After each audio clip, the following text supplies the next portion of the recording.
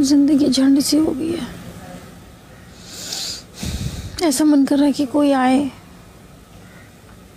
और मुझे बताए कि मैं कहाँ गलत जा रही हूँ, कहाँ सही हूँ।